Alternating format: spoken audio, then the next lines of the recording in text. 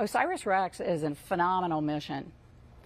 It has achieved so much already. It's the first U.S. mission from, to return samples from an asteroid.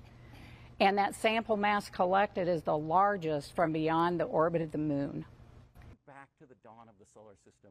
We're looking for clues as to why Earth is a habitable world.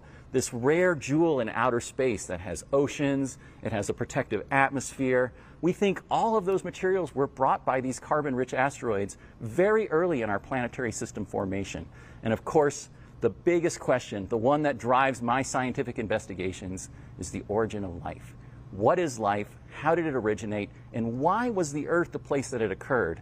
And because Bennu is so rich in carbonaceous compounds, we've seen these with uh, remote sensing instruments that we used while we are at the asteroid.